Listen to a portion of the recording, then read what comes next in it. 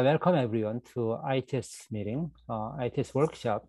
The title of today's workshop is um, Quantum Information in Chemistry. Uh, so it has been about more than uh, 40 years since the quantum information really uh, start, the field of quantum information uh, started.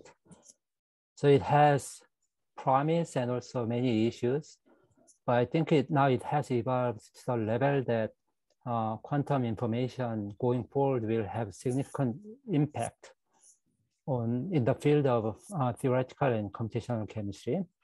So in that regard, um, I'm really happy that we have invited four uh, leading experts who can talk about different aspects of quantum information, uh, broadly speaking, but more specifically for quantum computation. Um, so without further ado, so let me uh, first introduce uh, Alan Aspuru-Guzik. So he is now at University of Toronto. Um, Alan, thank you. And why don't you go ahead and uh, start your presentation. Thank you. First of all, um, I just want to say, because I've been doing in the chat, but uh, so many people that I know in the room that I really uh, care and, and, had a lot of fun talking to in person, um, like David and Dorothy and Jacob Krish and others have been mentioning. Uh, I miss you all. Uh, and hopefully one, one day after the seven variants are coming, uh, we can see each other in person. Okay, so I toast to that, my diet coke. Oh, by the way, if you have any question, short question, please send as chat. Yeah, and then so we'll have a chance to talk. Uh, Alan will have a chance to answer them. Okay. I have. I was asked to speak for 20 minutes and then have um, have um, 10 minutes of questions, and this just started. Okay. So this is a intro talk to this uh, audience. Um, it is amazing, right? Uh, Daniel in this room wrote the first paper on simulation of quantum dynamics uh, in 2004, I think. And then 2005, we published a paper in chemistry. And since then, uh, it's been 16 years. Um, and a lot of things have happened. So firstly, uh, I like to always start thinking about uh, how important are simulators. This is a classical simulator that simulated the motion of the planets. Digital simulators uh, basically enable our world. Chips are designed by chips. I'm gonna end with that in this talk. So remember the concept. You cannot design a computer chip right nowadays without using computer chips. So computers enable our existence beyond, you know, the digital realm. They enable the physical realm. So this is Samuel Boys, the advisor of the advisor of the advisor of my advisor. Okay, he's he is also bald like me. And he did the first quantum chemistry calculation on a classical computer. This is the EDSAC, uh, and this calculation was done in 1955.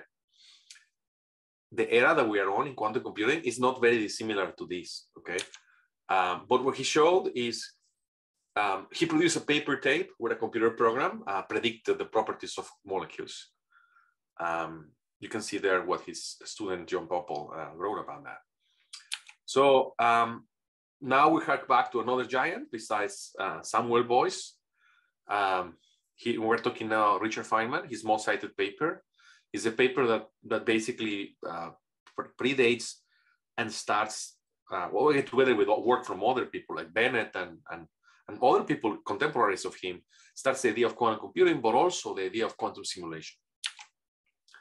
Uh, I want to say that the ads of Apple have gone downhill dramatically since this beautiful ad of Richard Feynman. Now this is how an ad on of Apple looks like. So I think uh, we've done gone downhill. So uh, you, you heard many of you in this room have heard me talk about this a long time. So this is in some sense a review. But for the new people here, uh, a quantum computer has an advantage over a classical computer because it allows you to map quantum information to a quantum processor that can handle quantum information natively. Okay, that in terms of quantum simulation, and this is known, and another thing I want you to notice is this flat line here. We'll, we'll show you this flat line again. This is the flat line of exact simulation as a function of time. This is a prediction from 2008 that still holds time, holds its own. And the idea of quantum simulation is that long-term algorithms are proven to show, uh, you know, algorithms that will use error correction will have a polynomial advantage uh, uh, solving the, so the, the, the Schrodinger equation exactly. And in the near term, we're in this regime of approximations. They're also polynomial in time, but we cannot say we're solving the, the, the problem exactly within a basis. Um, so again, this is kind of like a very vintage slide. Uh, it's the same slide I used 15 years ago. And uh, what you see here is uh, the very simple, uh, the very simple algorithm that allows you to calculate the energy of a quantum system by propagating it in time and using a quantum Fourier transform to go from the time domain to the frequency domain. Uh, this is so-called phase estimation. And what still holds from this early, early, early, early ancient work is that the number of uh, qubits will be proportional uh, to the number of spin orbitals in the problem. I mean, we'll come back to that because that's an important topic during this talk. Okay, what happened since then? Obviously, now we're in the noisy intermediate scale quantum computers, a term coined by John Preskill. These are machines that have some degree of coherence and certain number of qubits, um, and then control precision that defines something that IBM likes to call quantum volume. I, I just like to simplify it as an area, number of qubits times number of gates that you can do before the coherence. Just to give you an idea, more qubits, more more number of gates is what matters. But now what it's uh, what has been crazy, I never imagined I was going to be involved in a review paper every year about this field. And you might say, Alan, are you crazy? Why are you writing a review paper every year, right? What the heck is going on? Well, uh, with this former co-founders of Zapata Computing, several of my grad students and postdocs, uh, we wrote this uh, review paper of, uh, based on a workshop actually NSF organized. And I remember, uh, I'm pretty sure Sugi was there and I think Daniel as well. So we organized a workshop around 2016 or so, or 17, we brought this review paper. And then uh, uh, I was invited by Simon Benjamin for a physics version of it. But then you say, wait, what, how about one year later, Alan just puts another one, right? What, what's going on? Well, the reason we put out this, this review paper, which by the way was just accepted two days ago or three days ago in reviews of modern physics. Thank you, reviewers. Probably one of the reviewers or two are here in this room, so I cheer to you. Uh, we really try to be encyclopedic and figure out what can you do with a near-term intermediate scale quantum computer, a noisy intermediate scale quantum computer. And uh, we, we, were lucky enough to pro propose one of the first two algorithms for these machines, the variational eigensolver. Farhi proposed the quantum optimization algorithm. And since then, we've been proposing myself and many, many, many, many, many other groups, all sorts of different algorithms. Not all the algorithms for mixed computers are variational, but many are, and variational algorithms optimize a particular loss function. It could be the energy of a system, and then it looks at the variational principle, but it could also be a loss function for machine learning. Now, this is the reason we wrote the review. Even though I, I lead a, a rather large group on quantum computing, we were lost in the literature. And you can see why. 2019 and 2020 papers just listed here, okay, most of them of course, these are all the developments in variational algorithms, but variational algorithms exploded around 2018, 19, 20. So we're making a digital version of this review that, that hopefully updates the RevModPhys forever, a GitHub-based interactive review. So one of my grad students is actually working on that platform so that we all can together finally have a, a review that doesn't die and we all can put it together, kind of like a Wikipedia, right? Because it took us forever to start it. Now let's continue it together as a community. But these are all the algorithms that have to do with quantum simulation. And uh, I like the fact that uh, I see the camera of David Coker there. Uh, he's an expert in quantum dynamics. So non-equilibrium, uh, excited state dynamics, pro problems that interest him. Many people are already working on those type of simulations. Um, problems related to uh, quantum machine learning are pretty popular. There's some work from many people over there listed some uh, from my group as well. And then uh, also optimization, big problem. And now these two that you see here, I think are going to be more and more important. So for the young graduate students in the audience, I recommend you all to look at quantum computers as accelerators. Basically, how can a quantum computer do linear algebra-like tasks? How can a quantum computer can do finance? Those are two very exciting topics. Obviously, you cannot get all the all the vectors or all the matrices from the linear algebra or all the eigenvalues, you will have to extract them in a observable sense. You might be able to get some observable based on those vectors. But if you can use a black box that does that, then you can imagine having a lot of algorithms enabled by quantum computers. Finally, of course, there's algorithms for control, for consistent histories, for nuclear physics. So I think really I invite people to go to this review and it's almost like a menu in a restaurant. You want to learn something about quantum computing, go in there. It's, it's exciting. And I'm really excited about the field. So what is a variational algorithm, right? So I've been talking about them and the, the way you want to think about them is think of a guitar, right? When you when you play a guitar, you measure it, right? The guitar just plays back at you some tunes, right? In the quantum mechanics, obviously, what happens is a little bit more complicated. You project a particular operator, right? But tuning the guitar means changing the the frequency at the that the that the that the, that the strings are are are are, are tuned to, and also uh, changing perhaps where you place your fingers. This is not so dissimilar to changing the placing placement of the gates and the angles that the gates are are are are, are used. Okay, so it is a stencil for a circuit as well as the parameters for the circuit that are variationally changed. Okay, and optimized um, externally in a quantum computer. That's a variational algorithm. And even in the original paper, again, I'm trying to show you many pictures from the original papers. We believe we're the first ones to say QPU in a paper. Actually, Jarrod McLean was telling me QPU, and I was like, ah, come on, man, that sounds really terrible. Turns out QPU is now very used, but also it's a very important point I'm going to make for the rest of this talk. You can imagine that it's going to be useful to have a room full of quantum computers. So whenever you see these timings for variational algorithms that say this is takes 72 days on a, on a variational algorithm, I think people are not realizing if you had 72 ion traps in a room, you could do it in a day because our variational algorithms are embarrassingly parallel. So whenever you see a timing, remember that. That's another lesson, okay? So 72 days on a computer doesn't mean anything uh, if you have more than one, right? So just, just remember that. So since then, a lot of things happen. For example, we wrote this package called Tequila that I invite everybody here to play with. Okay, there are many packages that do things like this, but Tequila is a very high level package that uh, is standing on the shoulders of giants. Um, you know, PySCF, Psi, Open Fermion, JAX, etc., and also all the simulators that allows you really to simulate Hamiltonians, machine learning problems, etc., at an extremely high level. And this is the brainchild of Jacob Kottmann. And Jacob is looking for faculty positions. So if you have any faculty position under your hat or your dean has one, you give it to Jacob Kottmann, and it's going to be the most important thing you can do. Uh, the, the, most important thing you learn in this talk is that. Okay, so Jacob uh, uh, wrote this code with many people in my lab, and this is an example of the beautiful way you know you can just in few lines of code uh, simulate the, very, the, the the benzene molecule. Okay, so now what are the things that you can do with tools like Tequila and other advanced tools from other groups on, on other universities? Remember, I'm going to start coming back to a lot, a lot of things I mentioned and told you to remember. Remember the spin orbitals. Spin orbitals are expensive. A qubit is an expensive thing, whereas bits are so cheap.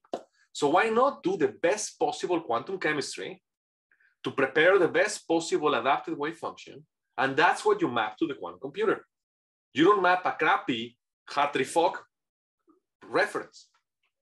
That's committing suicide. So in this paper of 2021, we have this model where we use uh, multi-resolution analysis in the madness code, by the way, developed uh, very close to you guys. Uh, that's developed uh, by, by Harrison, um, which is now at uh, Stony Brook. And um, pair natural orbitals from a MP2 based on that are used then as the basis for the quantum chemistry. And by using the right orbitals, you can reduce the cost that it takes to do a complete basis set simulation on a quantum computer by a factor of 10. 5 to 10 or so. You can see here, sometimes two, okay? It's, it's hard to tell you a number number, but you can see the range here in the, in the black is the extrapolated basis set limit simulations for the small molecules compared to the very large number of qubits that you will need if you use Hartree-Fock. I'm gonna skip this. Um, very important thing, I would say, is uh, gradients. So Jacob also with uh, Abhinav Anand in my lab uh, notice that people had already noticed how to calculate gradients of quantum circuits by thinking of the eigenvalue spectrum of the operators of the gates. So what Jacob did, which I think is brilliant, is can we look, and this all credit goes to Jacob, right? Um, basically, let's look at this spectrum of the many body operators themselves and then based on their spectral properties, obtain a gradient. And it turns out he can get the gradient of any many body operator in four evaluations. And if you restrict yourself to real ones, uh, real wave functions, then you will need only two evaluations, which is incredible, right? Because that means that you don't have this exponential growth in the number of terms that you need to look at when, once you expand that many body operator in terms of its order, order in, in, in simple uh, spin uh, operators. So this really, really, really opened the door to many body gradients in quantum computers. Um, I'm looking at my time. So let me see. Even though I simplified my talk a lot, I have seven minutes left. Okay, so let me tell you another story. So where are we in terms of um, hardware? This is a paper from 2016. We did the hydrogen molecule uh, in the first Google quantum computer. This is work by Ryan Babbush and uh, Peter O'Malley and many others. And you can see here something very nice. We're comparing the variational eigensolver to the actual full phase estimation. Phase estimation was able to be done in that such a small system, but you can see how, because it requires more gates and more operations, is more noisy, even though in principle it will be exact. An ion trap quantum computer here, 2018 in PRX. Uh, then that was our work together with uh, Rainer Blatt. Now you can see here the beautiful IBM paper uh, from 2017. It's still my favorite paper in the sense that it has uh, orbitals painted on top of a barium hydride molecule. And I just saw today, this morning in Twitter, that IBM opened a challenge for everybody, grad students in the room, to simulate a four-site Heisenberg model on this machine. So they have a challenge and a prize for the person that simulates the best four, uh, four-site Heisenberg model on the same computer. So let's see what people come up with, okay? Um, IonQ now is a company that went public, uh, had a paper in quantum chemistry in three qubits. And the state of the art is a 12 qubit experiment by Google that simulated the simple Hartree-Fock wave function. This is encouraging and sobering. Encouraging because it's amazing that, that they could do this, but also sobering that it's only a Hartree-Fock wave function. It's only 12 qubits. Having said so, just today, just today before connecting, there's I saw a paper in the arXiv by uh, John Preskill and Jarrod McLean on proving an exponential advantage over quantum simulation uh, tasks related to uh, state discrimination, I think. I mean, I just saw the abstract, I downloaded it, okay? And this is how fast the field is moving. Like every day, you have to look at the arXiv and see what's going on. And so I need to download that paper by Jarrod McLean. Now, it, it goes as, as, as fast that in this particular paper here that you see here, Zapata released a very, very, very large amount of work they did with British Petroleum. British Petroleum wanted to know how much you will need to simulate with variational eigensolver molecules that they care about. But full basis set limit, exact simulations, like pretty much extrapolated simulations to the full CI limit. And um, so Zapata developed the tool Orquestra that now we sell for that, actually, uh, to run hundreds of thousands of calculations to benchmark this. And this is the number of days. Remember 71 I was telling you? Well, that doesn't matter. You can buy 71 uh, IonQ computers if you wanted to solve this problem. But uh, what matters here is the number of qubits, 260. Number of qubits equals 13 times the number of electrons for the phase basis set limits. But I told you you can get a factor between 2 and 10, right? Already.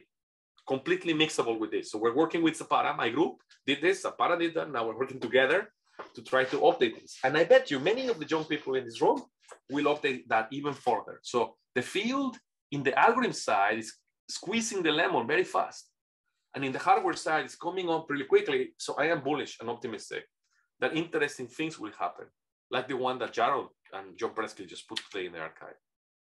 And now, for the end of this talk, literally for the for the cream on the pie, I'm gonna tell you in the last three minutes what we've been thinking beyond the variational eigensolver for molecules. Remember I told you that in that book by Peter Galison that all of us should read because it's a book about the history of computer simulation. In that book, Peter Galison was saying, it's amazing that my computer simulated itself. And that's how I, I'm using this computer to type this book, right?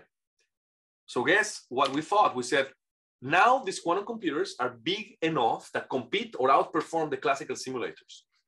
That ultimately is behind this idea of quantum supremacy, okay? or quantum primacy. I think they changed the name to quantum primacy or something.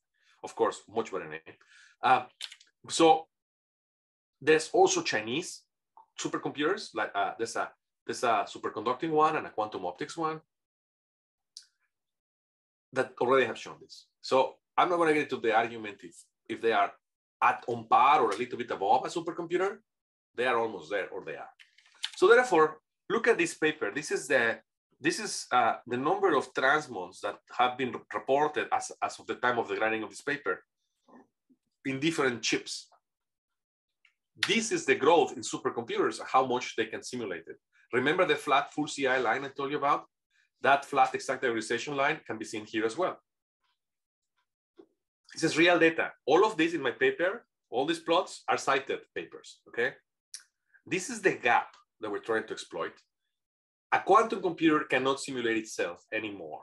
So, sorry, classical computers cannot simulate quantum computers anymore. So we said, okay, we have all the tools that many groups, including mine, have developed for a long time for simulating fermions and simulating systems like that. What about the bosons in reality? The superconducting qubits are these bosons like nonlinear harmonic oscillators, nonlinear oscillators, right? You can think about them like that. It turns out that if you expand them in a basis and if the basis is the right basis, you can write the same type of variational and, and phase estimation algorithms for them. And then your question is going to be, what is the overhead? And the overhead is four qubits, 16 levels per qubit. So if you're going to simulate a transmon, we found that, and this is a paper with Will Oliver, so he knows what he's talking about in terms of the precision. If you're going to simulate a superconducting qubit with, an, with, a super, with a quantum computer, you only require four logical qubits to simulate every qubit. In other words, the lesson from this is that a quantum computer can simulate a quarter of itself, at least superconducting, which uh, tells you that as you design quantum computers with tens of thousands of qubits, you will use themselves to simulate their submodules, their T-gate generator, their blah, blah, blah. So I believe this application of quantum computer aided design is going to be one of the next applications of quantum computing in the future. And on that, I'm going to skip a lot of slides. I do apologize. I thought this talk uh, was a little bit longer, but uh, here is a picture of my group pre coming back.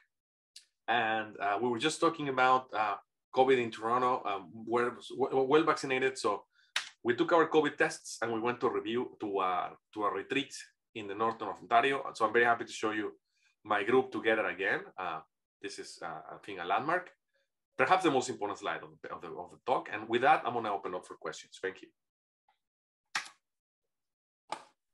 Thank you.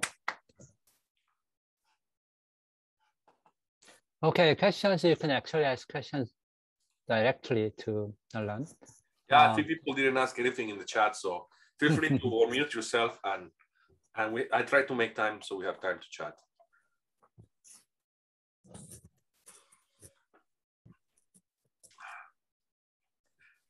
Sabre, so, I just want to see. Nice to see your face. Yeah. Okay. Somebody was asking something. Yeah. Go ahead. Uh, yeah. So, uh, so uh, great talk, Alan. Great talk, Alan. Thank you very much. So, all of what you described are variational and phase estimation methods, right? Um, th this is really where chemistry and quantum computing meet, right? Um, there are a lot of other problems, like nonlinear driven problems. Uh, can I do non-equilibrium, non-linear driven problems like multidimensional spectroscopies and these sorts of things? Can, are, are, there methods that are being developed to, to do those sorts of things? Because I don't think you can formulate those problems as variational. No, no, no. But there are a lot of algorithms. I, I worked on many as well myself, and many people in this room as well. Uh, I think um, Danny Sabre and many others algorithms for doing quantum dynamics. So there are several approaches to it. Uh, we have a paper in 2008 where we proposed to use a grid. That eventually was modernized a lot by uh, by um, the Google group in, in, collaboration with us as well. Uh, we have a grid-based method that is very, very useful for long-term based methods. So the way I will do it, David, is the way uh, Domcke and Negorova and those guys simulated directly the pulses. Yeah, yeah. Uh, so the way to simulate, at least the way I think to simulate a nonlinear spectroscopy experiment in a quantum computer will be uh, sending the, the time-dependent Hamiltonian to it and then propagating in time. The reason I think we're not so concentrated on that is because uh, you will require many more qubits. So, uh, but if you ask me, do we have the technology and we know more or less how to do that? Uh, the answer will be yes. Uh, I think, is there a paper that says realizing non- nonlinear spectroscopy in a quantum computer yet? I don't think so. But who knows? The field is moving so fast that I wouldn't be surprised that, that somebody could write that paper really quickly and estimate realistically the, the, the cost associated with it. Mm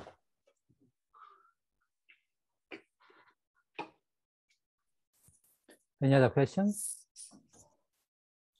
Well, then let me ask you a quick question. So do you think that there will be a time that quantum computation can actually replace the classical quantum chemistry, meaning that um, quantum computation can be actually used as practical tools for uh, calculating all the electronic structure? Okay, I'm gonna knock on wood um, that I'm healthy enough.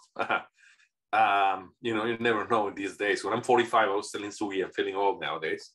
Uh, I, I like to say yes before before I, I go away, right? I'm pretty sure um, there will be in the next five days, five years, or two to three to five, who knows when exactly, there's going to be a quantum advantage um, application. What, what does APATAS mean? My company has a definition that I like a lot. Okay. And it's not because it's my company, it's the one that I think is the most realistic. Will a quantum computer enter any commercial workflow for any reason? It might be time, it might be speed, it might be convenience. It doesn't really matter. But if you have a quantum computing quantum computer producing information for a commercial task anywhere in the world, that's what my company wants to do, right? And many others. Chemistry may not be the first application of this because chemistry requires more qubits and more gates than we need, right? Uh, that, we need for other things. But it's it's up there in one of the top three or four. So I think first we will see that Sugi. Then a few years later we'll see some chemistry ones, and today or yesterday too, by the way, did you guys see in the arXiv there was a paper on the first fault tolerant demonstration of a, of a from Europe. Okay, all of these things are happening in the last two or three days. Okay, so what I'm trying to say is, uh, do if I'm asking myself, will we need fault tolerance to get to that point, Sugi, or not? I don't think we will, but uh, so many people, skeptics, skeptical people, like, oh, the Barren plateaus problem. I keep telling people when we get to having the Barren plateaus problem, we'll have heuristics for it. Well, let's first see it. let's first actually have a quantum computer that gets to the Barren plateau, and then let's just go fight it, right? So I'm very practical in that sense, and I think we will be able to do something related to chemistry even before error correction, because we're going to have this hybrid error-corrected variational algorithm somewhere along the way in the next couple of years, um, more and more useful. So I'm trying to hedge my bet, Sugi, because you cannot predict the future. But everything yeah. I see yeah. as, as an insider in my company and the great number of qubits that have been uh, now, for example, IBM is predicting next year they're going to have a machine with 400 qubits. Well, how useful are they will be will have to do with how coherent they are, but they keep increasing the quantum volume. So I'm bullish on this, uh, Sugi. Yes, I think before, so, so you from, I, from before you and I retire, yeah. before you and I retire, we'll do quantum chemistry. And quantum. So, so what will be the major critical issue? Is it hardware issue or is it algorithm issue or both? And so can you single out maybe two critical issues that have to be resolved? If they are resolved, that you will be really, yeah. really, really, really convinced? Sure. Uh, well, it's hard to convince you, Sugi, but we'll try. Uh, number one, uh, number one, uh, yes, hardware. I mean, uh, this quantum volume, which again, uh, simplified to an area, number of qubits times number of, of, of gates that you can do on them, say, um, has to keep growing. That's what matters. That's why ion traps are an interesting technology because even though they, they have right now less qubits, they are very precise, right? So yes, I think as the hardware progresses, the quantum chemists will squeeze it out like a lemon. For example, the 12 qubit Google experiment was what you could do maybe two years ago with their machines, right? They have new machines that are coming online. So let's see what happens with their new machines. Um, number two, in the algorithm side, I don't think so. In the algorithm side, I think we're much more advanced. Uh, I think there are these improvements I've been telling you on the basis on the number of measurements, on the optimization, that make me very bullish to say that the algorithms are pretty much ready for the hardware. Um, so I think the hardware is what we are mostly waiting for. Just quickly, thank you, uh, Alain. Brenda, yeah, uh, Brenda, can you ask a question first? Yeah. No, no, just like thank you, Alain, and sorry I missed the first few minutes, so sorry for that. Okay. It's okay. Uh, Brenda had a question, I think. Yeah, I was just going to quickly push you on the measurement issue, right? So, so if you want a highly accurate measurement, you you you now have to continually measure, and that could essentially be exponential. Um, is, is that a reasonable argument or no? Uh, you know, if you want highly accurate energies per se, right? You can measure something else and it's easier, but if you want an energy, what's the scale? No, no, no, no, no, no, no, no, no. Uh, firstly, um, firstly, no, no. If you want to calculate an expectation value of a molecule, the energy of a molecule, tons of work on statistics has been done. Uh, check out our review. It has a huge section on measurement. Uh, uh, that the way you want to think about it, Brenda, is like mon- sampling, like Monte Carlo sampling. You want to get an error bar down, you get more measurements, but it's not an exponential cost. It's a cost that actually, if you use some of the algorithms that Zapata has developed, actually is quadratically better than Monte Carlo, say. Okay, so in terms of the scaling of, of the with respect to the error. Uh, so these are algorithms that are hybrids between phase estimation and direct measurement. Um, but even if you do direct measurement, the question is how many operators you need to specify the energy from any body system? Can you group them using group theory? Can you measure them in order? Can you filter them? And that's the work of the beautiful work of. I was so lucky when I moved to Toronto. There was a guy, Artur Izmaylov, there. Amazing. You, you guys know him. That was just moved into quantum computing. So Artur Okay, uh, Alan, yeah. By, by the way, I have to interrupt here because I know you yeah. have the capability to talk for more than one hour. but anyway, so thank you again for really great uh, talk. And after the workshop has ended, uh, there will be also informal discussion. Uh, so please uh, join the informal discussion. And this became uh, now nice uh, segue for our next speaker, Brenda Rubenstein. So she is from Brown University. Brenda, take it away. Thank you very much, uh, for the introduction. Um, I'm really pleased to, to be here today, and particularly because when I was a graduate student in, in New York, I, I really appreciated these events where we can get a, a really quick sampling of the field and, and get out and, and meet people um, who are experts in different areas. So, so it's really nice to be a part of one of these on the other side of the coin. Um, I should also apologize. I'm coming off of a regular virus, not, not a scary virus, uh, and so hopefully my voice doesn't go out. So, so hopefully you can't virtually get it. It's not COVID, I, I, I promise. Um, so today I, I, want to branch off of uh, Alán's discussion. Uh, he had a brilliant introduction um, where he talked about a few different quantum hardwares. Uh, and, and, today I'm going to focus on, on some of my group's work to try to understand one specific hardware. Uh, and, and, so this is an area uh, where quantum chemistry meets quantum computation. That might be different than, than you think uh, and, and what people typically talk about. Uh, what we've been trying to do is use quantum chemistry to try to understand how to make some of these hardwares better. Uh, and in particular, we've been looking at ion traps. Um, so as Alán alluded to, ion trap quantum computers are, are highly accurate. However, they do suffer from a, a decoherence problem that, that relates to what we call the, the anomalous noise problem. Uh, and so my group has been trying to understand what are the, the chemical fundamentals, what are the things that, that cause that, that anomalous noise uh, in these quantum computers so that we can drive that noise down. Uh, so just to start out with, uh, what we're interested in are ion trap quantum computers. Uh, these are quantum computers that, that trap uh, different atomic ions. These could be uh, calcium-40, uh, th these could be ytterbium. There are a variety of different ions. and these ions are, are trapped usually in linear Paul traps um, by electromagnetic fields. Um, what's interesting about these, these ions uh, is that they, they consist of two level systems. Um, you can represent these two level systems in, in a couple of different ways. Uh, so these could be the, the ground and excited state, uh, electronic excited state of, of these ions, um, or they could be hyperfine states. Uh, and so, so typically in, in some of the uh, realizations I'll, I'll show you today, the, the, these are hyperfine states. Um, these hyperfine states are oftentimes coupled uh, to the motion of the ions in the trap. So you can, you can can think of them uh, as interacting through Coulomb repulsions. They are ions. Uh, and so if you change uh, the, the states uh, of the different ions, then that's actually going to affect uh, the motional modes of, of, the trap. So these are typically um, correlated with each other uh, and, and, form a, a, state for, for computation. Um, what's very nice about these ions is, is that we can fairly readily control transitions between uh, these internal states uh, just, just using lasers.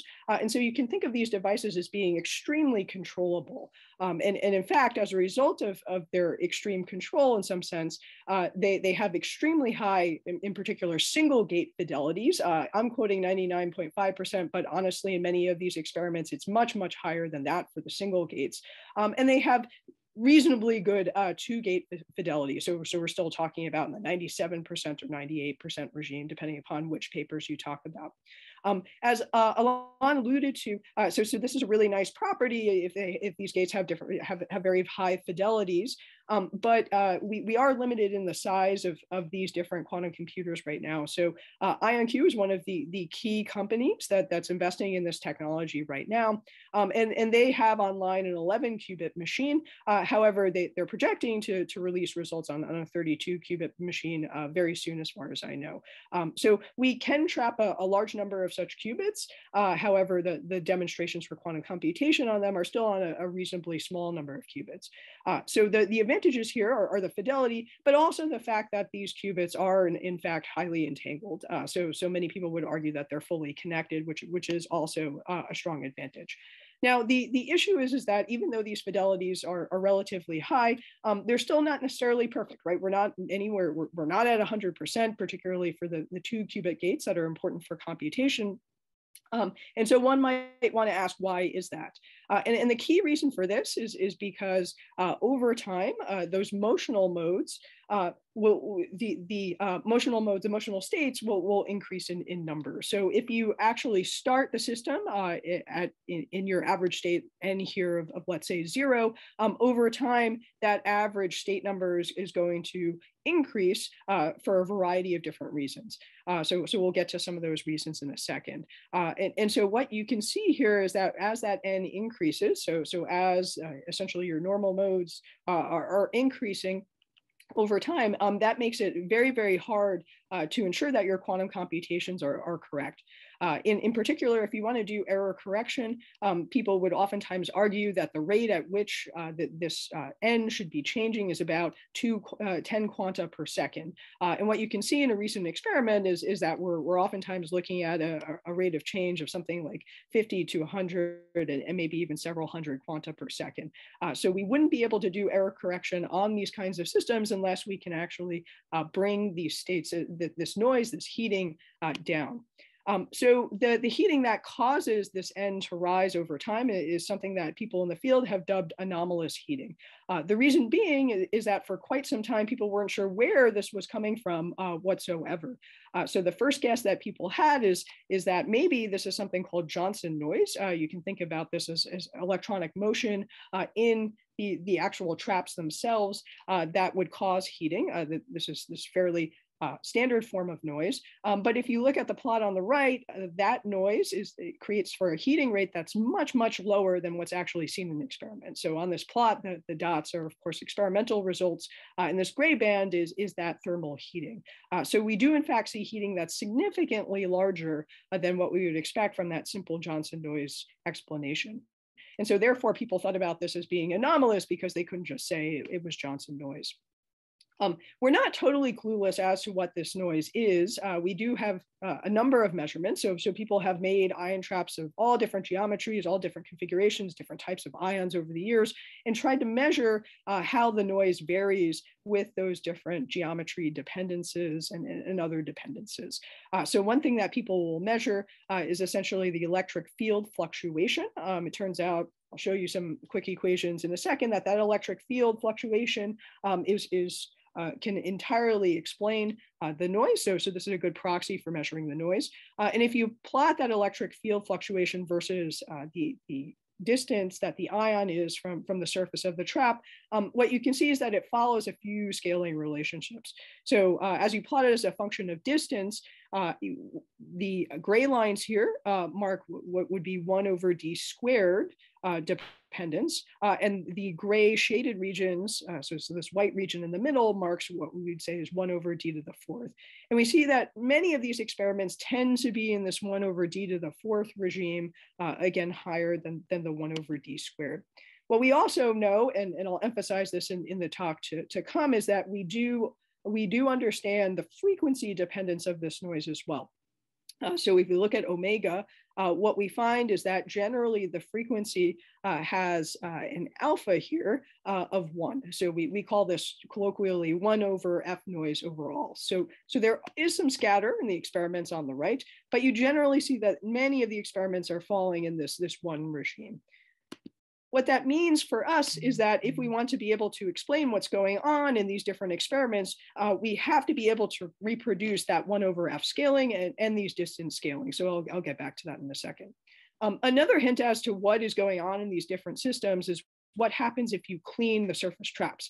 Uh, and, and so, you know, maybe this doesn't sound shocking to you, uh, but, you know, the, there is crud that gets attached to these tra traps over time if they're exposed to open air.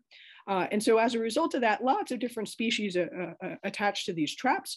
Um, and it's in what people have thought about, as, as well, again, we'll discuss in a second, is that it's the jiggling motion uh, of many of these adsorbates that might cause this noise. So evidence for this, uh, as you can see on the left, uh, is that if you look at these traps and you do Auger spectroscopy on them, what you'll see is that there's typically a few monolayers of, of different types of hydrocarbons uh, on top of the surfaces of these traps.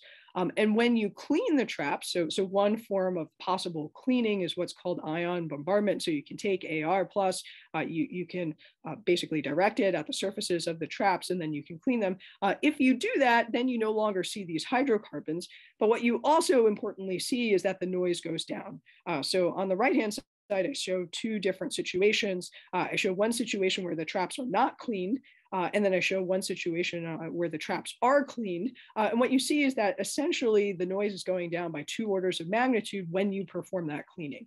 Uh, and so the suggestion would be that it has something to do with those carbons that we see in the Auger spectroscopy before we clean.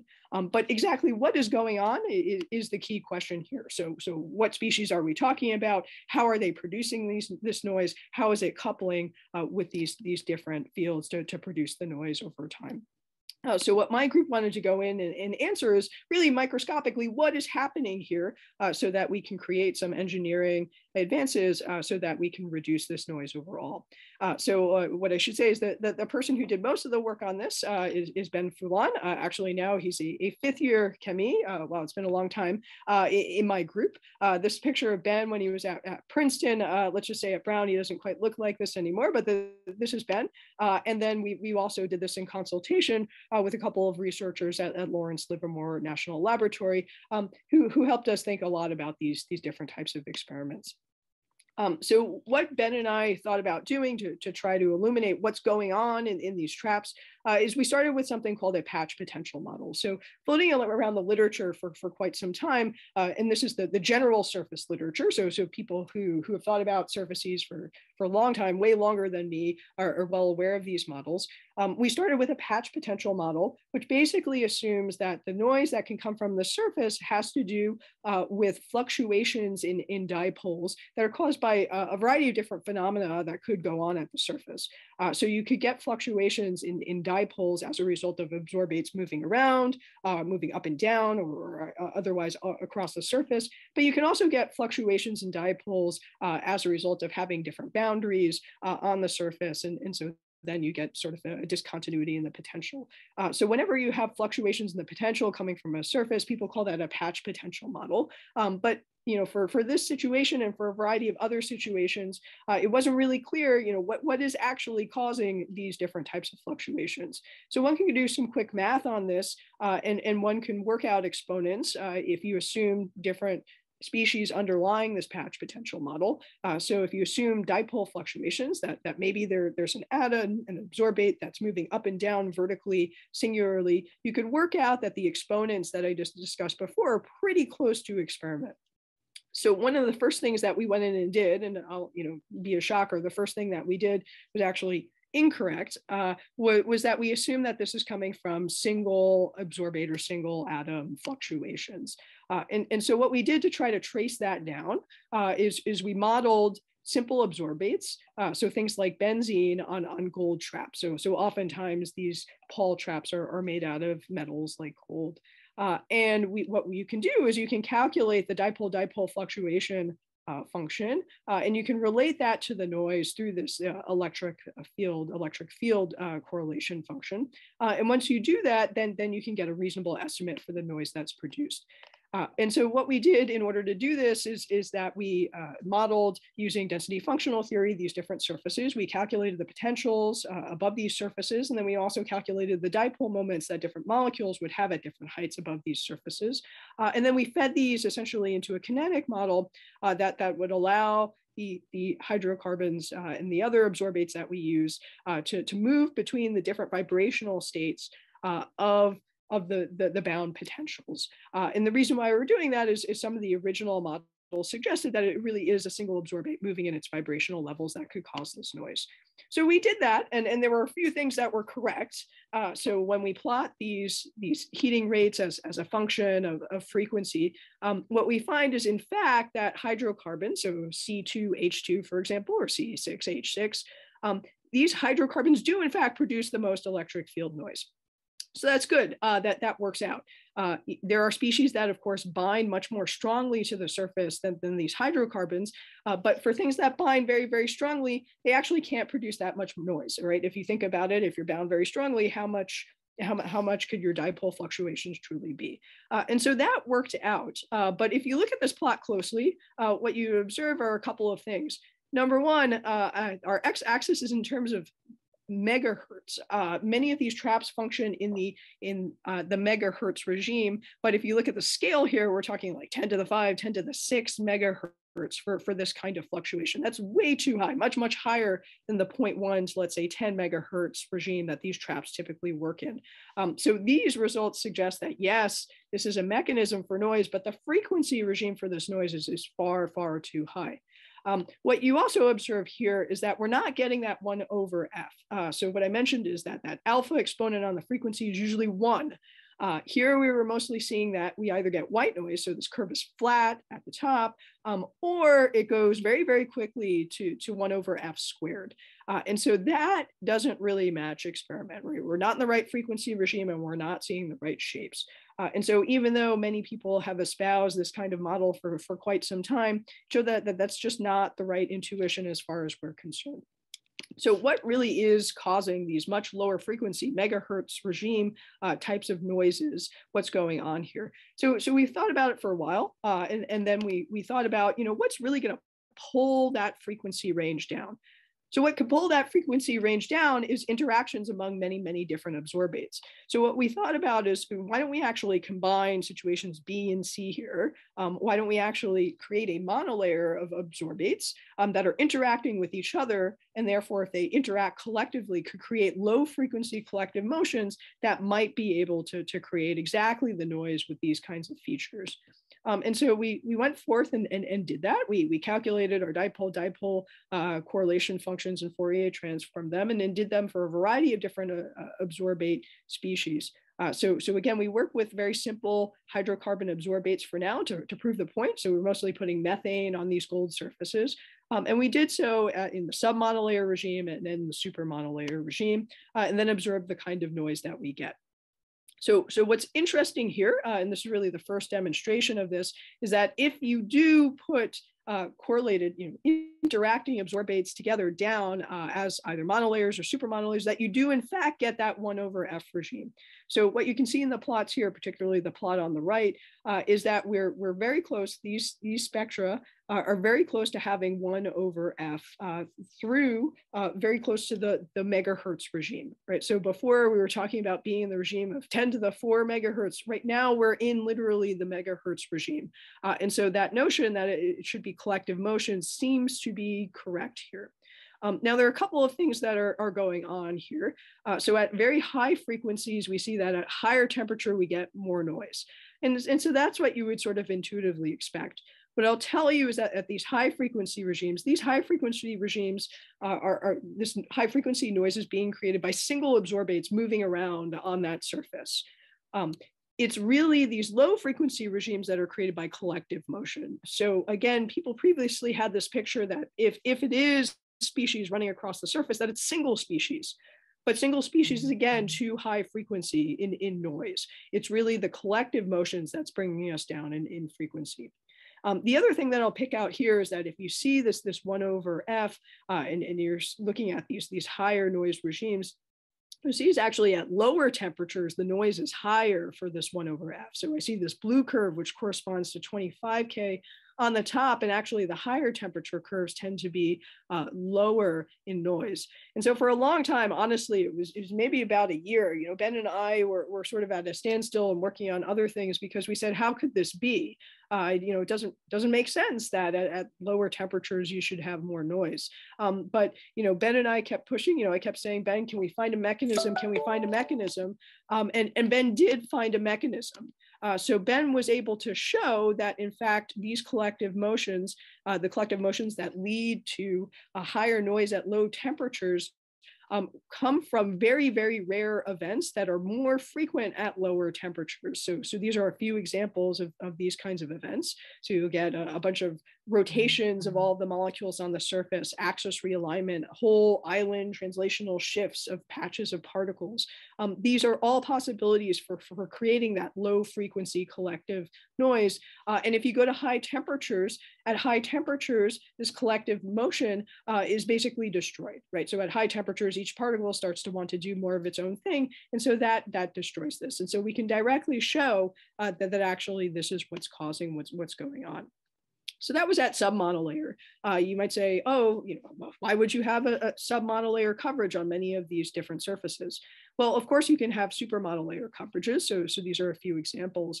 Uh, and, and what you see is that we also get 1 over F uh, in, in many of these cases. Uh, so uh, at high coverages, it sort of dissipates, but, but uh, at moderate coverages, and, and, this also works for more monolayers, you do get 1 over F here.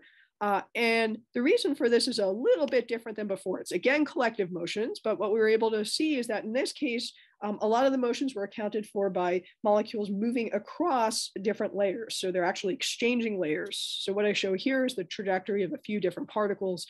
You know, one particle, this green particle is actually switching layers. Um, and when it switches layers, its dipole changes dramatically.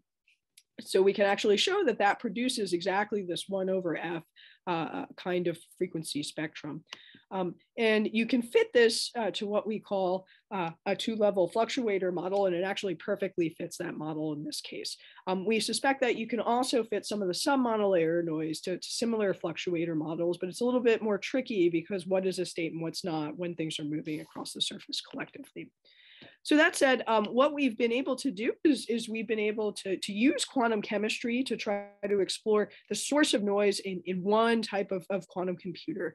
Uh, and the hope is that understanding this, this, the origin of this noise would actually allow people to engineer um, higher fidelity machines in, in, in the future.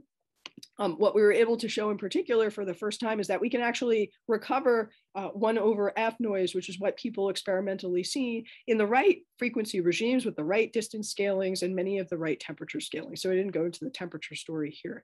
Um, but that was at least reassuring that we can mi atomistically, microscopically tell people where this noise is coming from and maybe what they should be careful about in terms of substrates and in terms of adsorbates that they're using uh, that, that could also get in their system. Um, we are missing things, right? Where we haven't talked about vibrations, we haven't talked about different mixtures of molecules. There's really no control over I shouldn't say no control, but there, there's less control over what's getting on the surface, um, no quantum effects, nothing like that. So, so there are subtleties to our model, but we think this at least points in the right direction towards uh, you know, what is truly causing the noise in these different machines. Um, so there are many things to understand from the quantum chemistry perspective that we can still provide advice to, uh, and I think that that applies beyond ion traps to many other different quantum architectures. Uh, and, and I hope you, you see that there are still issues with the hardware that we can continue to, to discuss later. Um, so with that, I'd, I'd, like to acknowledge my group. Uh, you know, my group always looks makes me look better than I am. Uh, so this is my group. Uh, you know, we had to take this outside in the night, but uh, you know, this is Providence night. Uh, so I'm very thankful to my group and my collaborators at, at Livermore for, for working on, the, on this project with us. Thank you all for your attention. Thank you. Okay, questions? Okay, okay Alan. Yeah. Okay, I promise to you it's gonna be short, so give it. Okay. Uh, and, uh, uh, this is very interesting and, and it's, it's very nice to understand that these fluctuations in the potential for an ion trap. In the case of, of a superconducting machine, you, I can imagine we have similar surface effects. Yep. Mm -hmm. Have you inter, have you been interested in entering that regime with a lot of mysteries? Yeah, yeah. So, so I haven't done work there myself on that, but you're, you're absolutely right. So, so people have seen similar absorption, for example, on on, on aluminum uh, of, of oxygenated species that could cause very very similar noise. Um, and, and so a lot of this also goes to those, um, although the materials involved are a little bit different. Uh, so, so yes, the, the the same kinds of things uh, should should correspond there as well. Ignacio, do you have a question?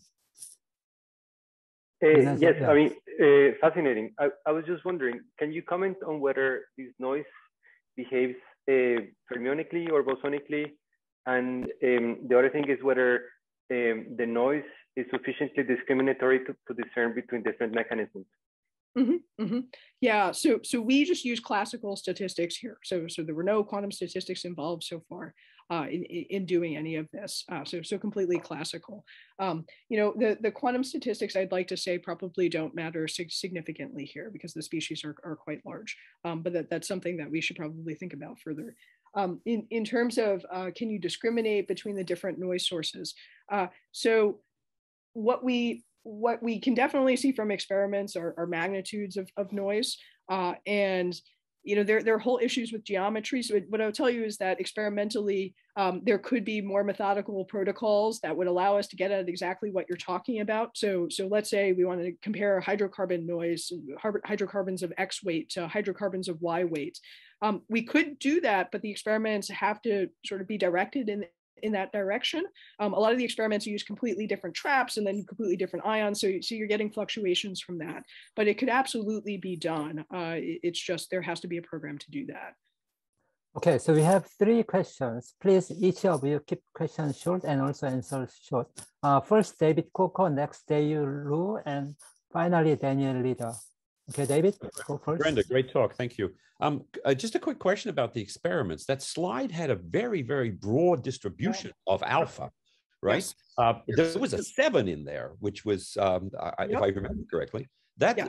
what is going on in these different experiments? Yeah, so it's exactly what I was alluding to before. So there are people doing experiments. So, so that plot was was really an accumulation of all the different experiments people have done. People are doing it in different traps with different ions, uh, you know, different setups, different different surfaces, uh, and so that's what I mean that there has to be sort of a consistent program. Um, so a lot of people dismiss some of these outlier points. It's possible there's science there, uh, and they dismiss it for what the trap geometries are. Uh, but if we had a consistent set of experiments, uh, there's some groups that are trying to do this, then then we can eliminate whether that's true or not. Uh, but you're absolutely right. There there is a big spread there right now. Thanks. Okay, Dayu. Hi, this is a uh, great talk. I uh, just have a question regarding the uh, mm, the, the, the sorbate uh, structure. So is there any experimental evidence that to verify there are kind of sub-monolayer adsorbate like close to 0.5 from like STM or something else? Yeah, yeah. So, so there's a group at NIST uh, who who has uh, a variety of techniques up where they're, they're actually trying to get this kind of information. So I showed you some of the Auger spectroscopy. Um, there are other groups that, that are working on this now to try to characterize. Um, they can tell you vaguely what species are on there, but you know what mixtures exactly, which which hydrocarbons. Um, a lot of that hasn't fully been published, but the, the NIST group is definitely working on that. Thank you. Okay, Daniel. Yeah, hi. Uh, uh, Hi, Brenda. Very nice. Uh, so uh, actually two related questions. Um, how would this noise scale as you uh, increase the size of, of the trap, the number of qubits? And does this give you any new insights into how to do error correction for these systems? Mm -hmm, mm -hmm. Yeah, yeah. Um, so I, I, I, don't think it should scale with the number of qubits. Uh, so, you know, basically these qubits are, are seeing a very wide field of the noise from the surface. Uh, so it's larger than their individual ex extent. Um, so I, I, don't believe it scales that way. Uh, it does scale with the charge and so forth. Um, in terms of, of error correction, um, I'm, I'm, not sure that it tells you about error correction. It, it, just tells you how you can make surface materials better so that now your error, error rates are smaller. Uh, and therefore, you could do different types of error correction that you wouldn't be able to do before. That's the way I view it.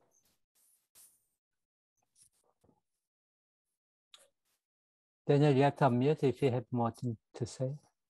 Uh, no, uh, thanks. That's good. Yeah, thank you. Well, thank Brenda, you. thank you so much. Um, yeah, I think yeah, this is actually perfect timing. Now let me introduce Ignacio Franco from U University of Rochester. So he will be the host for the second uh, part of this workshop. Uh, Ignacio? Hi, everyone. Good to see you. Daniel, it's my pleasure to introduce you. You taught me quantum mechanics uh, 10 years ago or more and uh, it's, uh, it's, it's great to have you here. So yeah, please, please go ahead. Great. Well, thank you. All right. Well, thanks, Sugi, for uh, uh, organizing this really interesting workshop. Um, I uh, am going to be the least chemical of, of all the speakers here. In fact, there will be uh, no mention of, of chemistry in my talk, but um, some of the things I'll, I'll, I'll, talk about are certainly related to problems in uh, protein folding on lattices and so on of which I should say Alán was the, uh, the pioneer um, in the context of uh, quantum annealing. Um, and uh, what I'll say has to do with uh, uh, how to solve optimization problems more generally on, on quantum computers, and in particular in the context of using quantum annealing and D-Wave. So uh, let me start by uh, presenting you uh, with a, a series of, of, cartoon slides that are related to the, the topic of, of this talk, which is on what I call algorithmic break even. Uh, but first, um, let's talk just about uh, plain algorithmic scaling speedup, which is the, the thing we're going for in quantum computing. And so suppose that you, you have an algorithm uh, like a quantum chemistry, there, I, I said it again, um, uh, type simulation that would give an exponential speedup if everything goes well uh, on uh, running on quantum hardware. Uh, by everything goes well, I mean uh, ideally we we would have uh, a perfect quantum computer with no decoherence. And in that case, if you were to plot something like the time to solution, let's say, let's say time to chemical accuracy as a function of problem size, a quantum algorithm would uh, solve this problem in polynomial time. And the best classical algorithm you could come up with uh, would still require exponential time. So there would be this, this huge gap, which would be uh, visible uh, already for very small problem sizes, let's say the number of orbitals. Now, uh, the problem is, of course, that uh, this kind of thing has never been observed so far uh, on quantum hardware. And, and the reason is that there's decoherence. So when we have a noisy quantum computer with decoherence, um, if there's only a little bit of decoherence, then perhaps what happens is that the quantum polynomial becomes a polynomial with a higher degree. Uh, and so if, if that were the case, uh, then at least we would expect to see an advantage uh, for sufficiently large problem sizes. But again, we haven't seen that yet. Uh, so perhaps what's going on is that we're here. We're just looking at problem sizes that are too small because our quantum computers currently uh, only have a, a, handful of qubits. Um, but actually, things are a little worse uh, because we have rather noisy machines nowadays. And so it might be that uh, the polynomial has a very high degree in, in the quantum case, and then it just becomes really hard to distinguish it from a, um, an exponential scaling of, of the classical algorithm. Uh, so it could be that, that this is what's going on. Um, and that's probably closer to what has been observed nowadays on, on quantum hardware. But um, actually, it looks like the, the scenario we're really in is this one, where there's just too much decoherence in the, the current uh, noisy intermediate scale quantum uh, era. Uh, and the uh, quantum uh, type of, of scaling that we observe in our systems is, is more like this, uh, this purple line here, where quantum and classical both scale exponentially, and there's just too much noise. And this, this kind of thing has definitely been observed. Um, examples where we can simulate um, using quantum computers, but uh, we don't observe an advantage yet. Now, if you think this is the, the worst that can happen, actually it isn't. It could even get worse than that. You could even have a phenomenon I'll call quantum blowup, where uh, the, the problem becomes so noisy uh, that beyond a certain problem size, uh, your quantum computer just never returns the right answer. Uh, the probability of getting the right answer goes to zero, and so the time to solution um, essentially goes to infinity. And I'll, I'll, actually show you some examples of this a little later in the talk. Okay, so um, with this in mind, uh, let's take a look at what, what has happened with, uh, with D-Wave, um, which uh, still has uh, by far, by an order of magnitude or more, the largest number of, of qubits uh, out there in the quantum hardware world. Uh, and I'll, I'll tell you about a study that I was involved in where we were trying to um, solve optimization problems on D-Wave using the previous generation of their quantum computers, uh, the, the so-called uh, 2000 Q machine, which had uh, 2048 qubits. And the problem we were trying to solve was uh, that of uh, finding the ground state of an, an Ising spin glass. Um, and the exact description of the spin glass won't matter right now. I just want to focus on, on the results we found. suffice it to say that these are hard problems. You can definitely not solve them in your head, at least I can't. Um, and the uh, results we got for D-Wave, uh, in some sense, were very encouraging here. So here's the, a plot of the time to solution on a log scale as a function of uh, the square root of the, the, number of qubits, and the square root is there for a technical reason. Uh, and what you're seeing is the, the blue data are the results from solving these hard spin glass problems on D-Wave uh, with up to 2048 spins compared to one of the, the leading uh, generic classical algorithms, simulated annealing. And as, as should be clear uh, by inspection of these curves, there is an advantage uh, both in terms of an absolute uh, uh, time, but much more importantly, in terms of the scaling of these two curves. Um, if you uh, do a regression and, and find the exponent that is the best fit to, to these curves, you find that the exponent b here and the, the exponential uh, is statistically significantly smaller for D-Wave 0.76 versus almost exactly one for simulated annealing for, for these problems. Um, and that uh, is the first example of an experimental limited quantum scaling speed up, limited because uh, the advantage that is shown here is, is true when you compare D-Wave to uh, simulated annealing.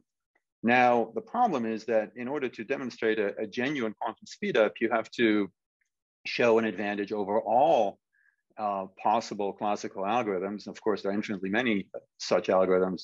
So you have to uh, try to pick the, the good ones. And it turns out there are at least two other algorithms, classical algorithms that beat D-Wave and that are better than simulated annealing for this problem. And so, for example, this the purple line here uh, the classical spin vector Monte Carlo algorithm is actually kind of a classical model of, of D-Wave if you were to assume that there's no entanglement uh, among the, the D-Wave qubits. Uh, but the best of these uh, is simulated quantum annealing, uh, which is uh, somewhat a confusing name, but it is just a classical quantum Monte Carlo algorithm that is tailored to simulating quantum annealing type experiments and you see that its coefficient, its its slope is is 0.37, which is um, even less than uh, than half of, of the D-wave slope. Uh, so uh, this is the kind of uh, current state of the art that we have with uh, um, solving optimization problems, uh, really hard optimization problems, but nevertheless, the, the, the quantum advantage um, is is tenuous and one might ask uh, why that happens. And of course, the answer is decoherence, uh, the, the, the, good old enemy of quantum computing. And of course, there's also um, a well-known fix for that, and that is error correction. So let's go back to the, the cartoon version. And so suppose that we now introduce quantum error correction uh, to our decoherent quantum computer.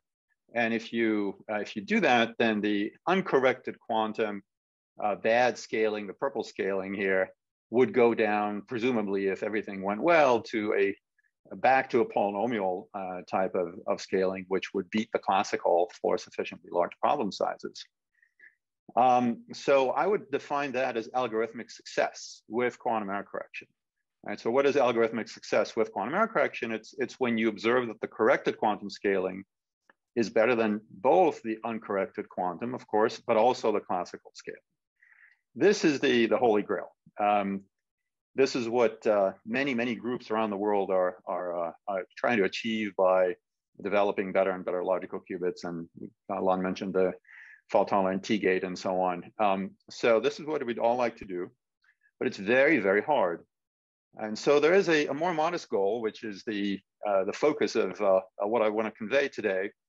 And uh, I think it's a really um, useful goal to have in mind uh, in this uh, noisy intermediate scale quantum era that we're in. And this is what I'd like to call algorithmic break even with quantum error correction. And, and by break even, what I mean is that the um, corrected quantum scaling, which is now this uh, brownish line here, is better than the uncorrected quantum scaling. But let's not set the bar too high yet. Uh, and let's not ask that we are going to beat uh, the best possible classical. All right, so, so algorithmic break even, I'd like to define as follows. Algorithmic break even with quantum error correction is when the corrected quantum scaling is better than the uncorrected quantum scaling, but not necessarily better than, than classical. Right? And then the question is whether this can be achieved with existing quantum hardware. So um, to explain uh, where we are in that regard, I want to uh, take a minute to talk about uh, uh the D-Wave processors because this is uh, the work that we did in this context. Uh, and for those of you who are not familiar with them, what they are is they are programmable quantum annealers. They're designed to solve primarily, but not exclusively, optimization problems. Uh, and they're always formulated as, as Ising spin-glass type Hamiltonians. So here's an Ising spin-glass Hamiltonian. You have a local field term, you have a, um, an interaction term, you can program the H's, you can program the J's. And the problem is for a given set of H's and J's to find the minimizing spin configuration, the, uh, the spin configuration that minimizes the energy given the H's and the J's. And this is done in quantum annealing or in adiabatic quantum computing, ideally uh, if you had a completely noiseless machine, as follows. You, what you do is you introduce an additional transverse field, the sum over the Pauli sigma x's here, uh, and you initialize the machine in the ground state of this transverse term. So think of A as being large initially and B, B is zero. And then you decrease A slowly and you increase B slowly at the same time. And so the ground state that was uh, the ground state of, of the transverse field, which is just a uniform superposition state, uh, slowly evolves by the adiabatic theorem into the ground state of, of the Ising Hamiltonian, which is the problem you're trying to solve. Uh, and so D-Wave built machines that were designed to implement this principle, this interpolation between transverse and an, an Ising term. Uh, starting uh, back in uh, now 10 years ago, uh, in October 2011, uh, they uh, uh, released the D-Wave 1, which was the, the first commercial quantum computer, uh, which uh, we were fortunate enough to, to have at USC. that had 128 qubits. And then um, roughly every two years or so, they quadrupled the number of qubits, going through a number of generations. the experiments I'll, I'll, tell you about were all, all done on, on the D-Wave 2000Q device. Um, and currently, there is actually a 5,640 uh, qubit uh, device known as the D-Wave Advantage. Uh, so, what are the uh, the D-Wave machines in a bit more detail? Uh, they use superconducting niobium uh, flux qubits. on the previous generation devices, they were all on the so-called chimera graph architecture. the red circles are the qubits. the the black lines are the the connections, the couplings between the qubits. Um, and the, the largest of these Chimera-based machines was the 2000Q, which, which had uh, 2048 qubits when they were all functional. You see that here there are some empty circles, so sometimes not all the qubits yielded. That's, that's rather common in, um, in, in quantum computing. Um, in any case, there were machines that were fully yielded as well. They were arranged in, in this uh, chimera graph um, where you have uh, unit cells of, of eight qubits and uh, you had uh, they were arranged the unit cells were arranged in a square grid of uh, of up to 16 such um, uh, unit cells per side so the total number of qubits is 8l squared where l is the number of unit cells per side let's keep that l in mind because it will come up later. So L again is just the number of unit cells per side. Um, I should say that in the uh, the new Advantage machine, uh, the connectivity is very different and and higher. Uh, every qubit is coupled to up to 15 qubits, uh, but I, I, don't have any uh, results to share with you about that today. So um, when people criticize D-Wave, and as, as I'm sure um, I'm sure that that this this is something you've uh, heard about, how you know the D-Wave machines are noisy and so on. So what's that about? It's it's really about the following two things. Uh, the T1 and T2 times the, the relaxation and dephasing times uh, have been measured and uh, they're on the order of, of uh, a few nanoseconds, let's say 10 nanoseconds. But the annealing time, the time it takes to, to complete one run uh, is at least one microsecond on these machines. So that's, that's not a great ratio. And uh, you might suspect that uh, the qubits will decohere before the computation is complete. And to some extent, that critique is, is valid. Uh, the second point is that the, the minimum gap of the Hamiltonian, remember you're trying to stay in the ground state, so any thermal excitation out of the ground state to an excited state uh, can be detrimental. And that minimum gap uh, that determines whether there will be an excitation or not can be much smaller than the temperature, the, the dilution refrigerator temperature, which is, which is about 10 millikelvin. And that means that thermal excitations can kick you out of the ground states uh, rather easily, especially as you go, as you try to solve a, a hard problem that has a small gap. Uh, so I view these machines primarily as, as a test bed for algorithmic scaling with noisy qubits and error correction. And I think that's an appropriate perspective for all uh, NISQ era uh, quantum computers. I, I, guess I'm a little less bullish than Alán about this. Uh, I think that uh, um, what we can do with our current devices is, is likely to be uh, testing uh, algorithms uh, and, and, and how we can improve their performance uh, by introducing various error correction tricks. Uh, I, don't, I don't expect to see major breakthroughs in the NISQ era in a practical sense. I think error correction is, is going to be very, very important.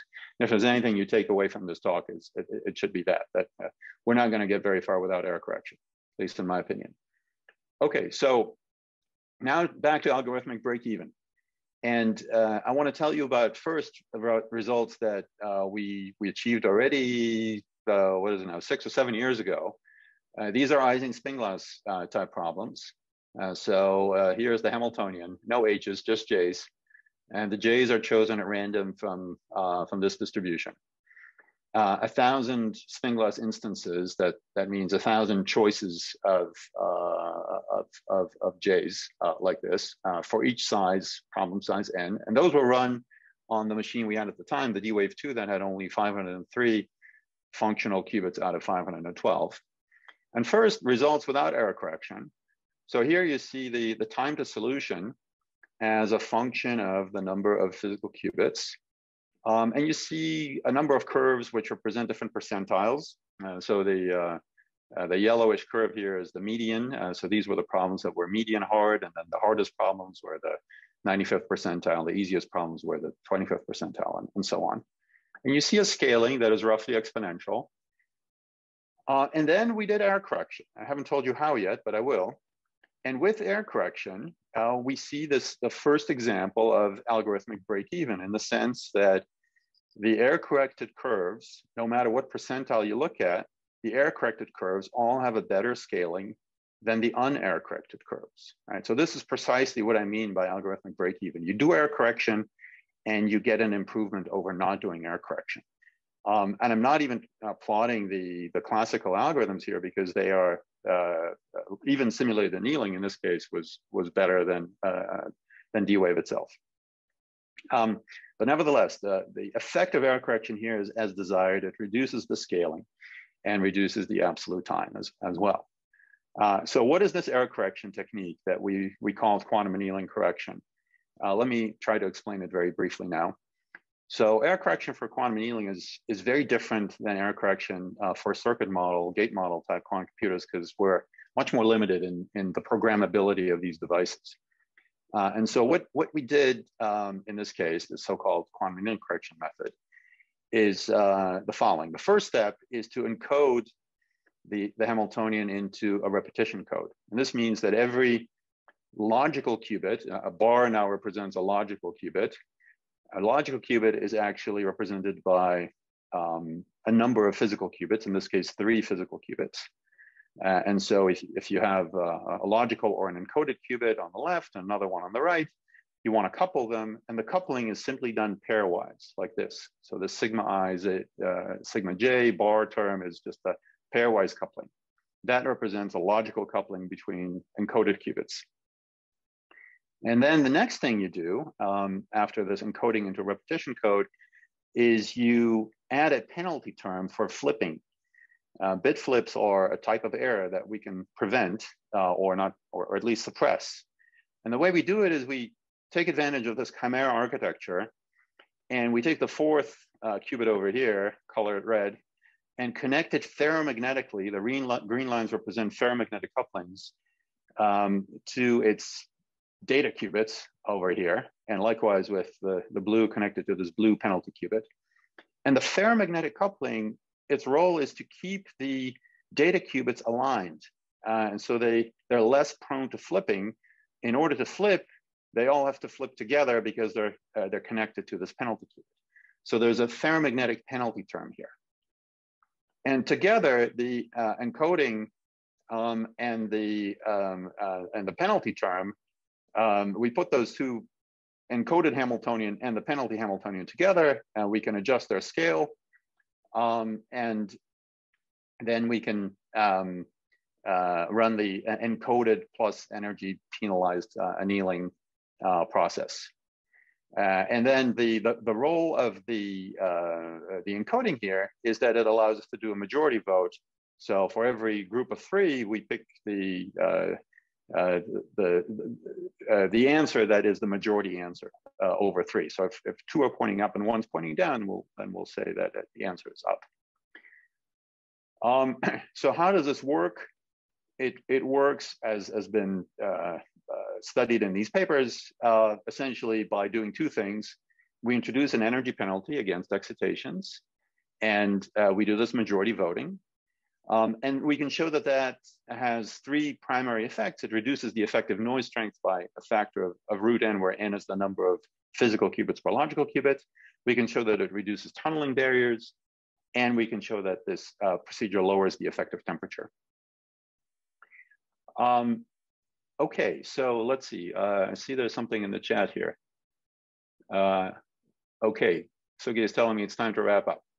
All right, well, um, so uh, let me try to uh, let me take another five minutes so again and we'll leave five minutes for questions because uh, uh, there's a bit more material i want to get through here.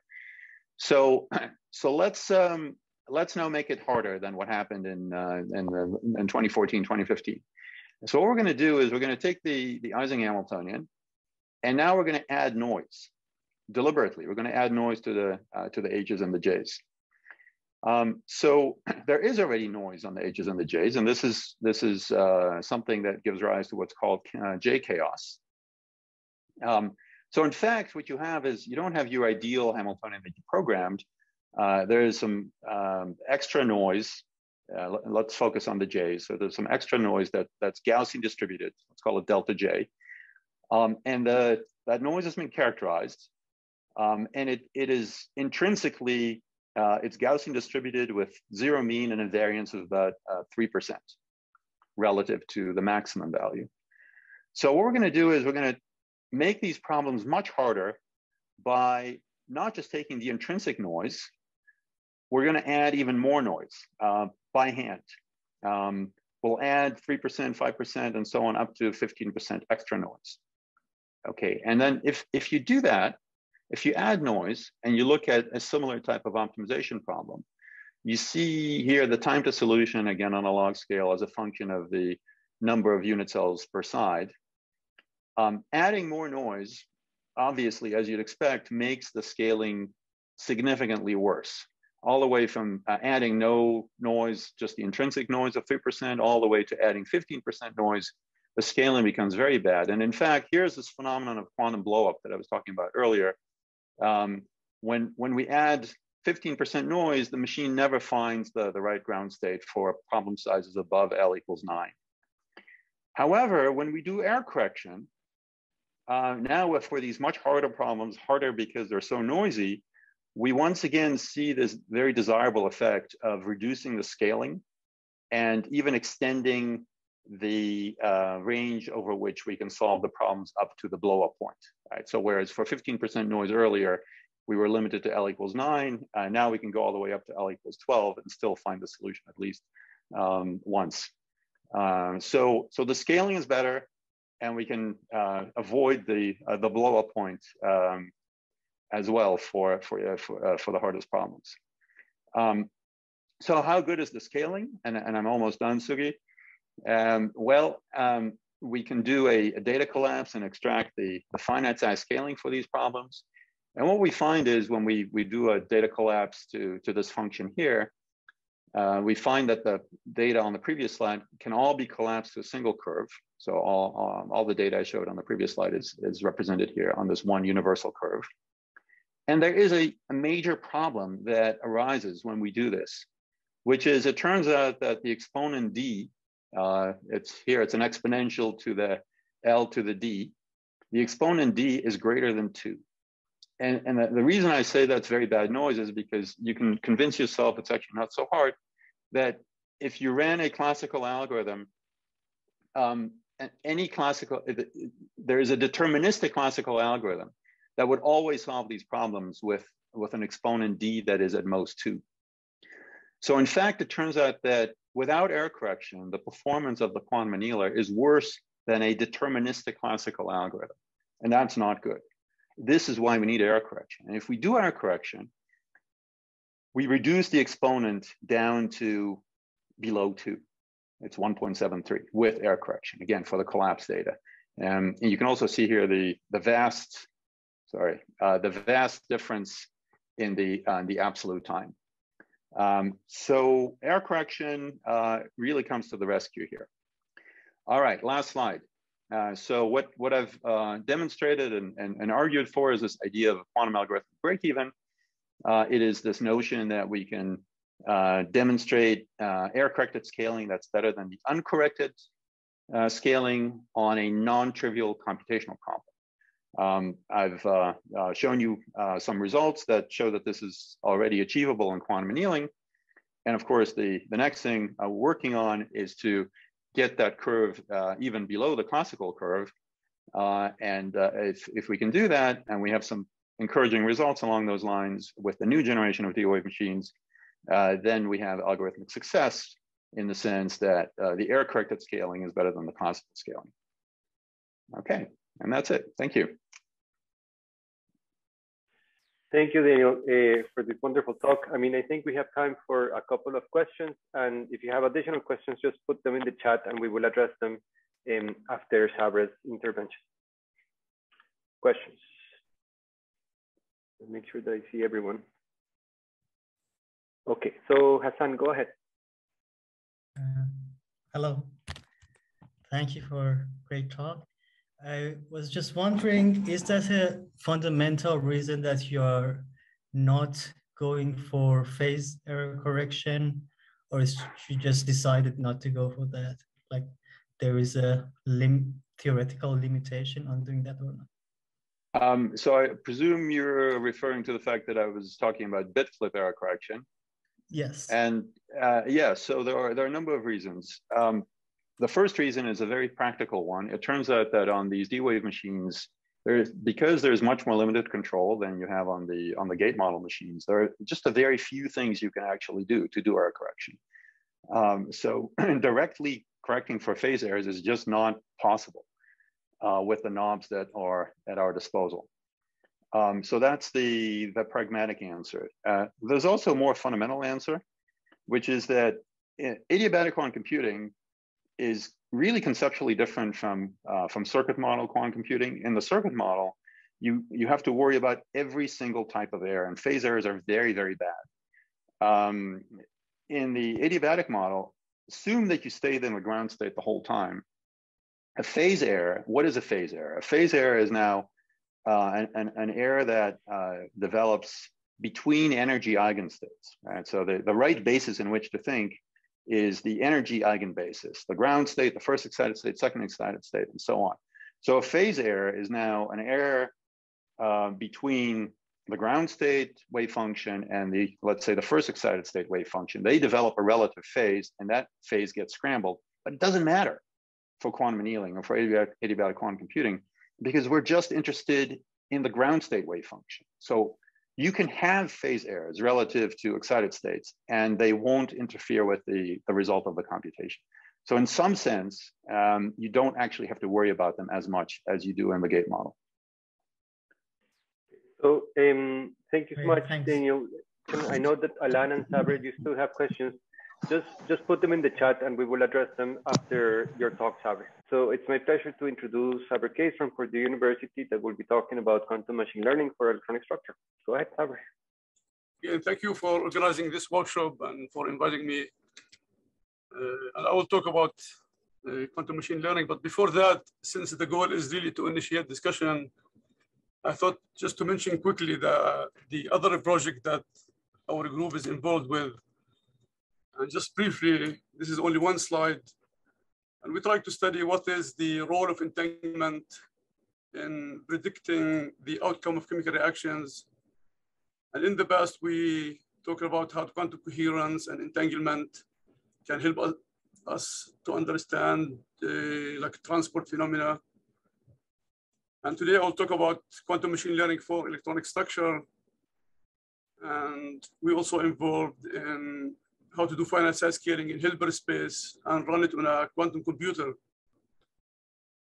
And finally is like how to simulate open quantum dynamics, the quantum master equation where you have the dissipative term on a quantum machine. So our paper on the arXiv and you can check the the website and we can take the discussion offline if there is any interest in these other fields. But I will focus on the quantum machine learning for electronic structure. For that, maybe we'll start, uh, what is the motivation? What is the main problem here? I mean, probably all of us work in this field and probably Alán mentioned this before. I mean, you start with the wave function or density matrix and you know the exponential complexity as the system size increase for this wave function.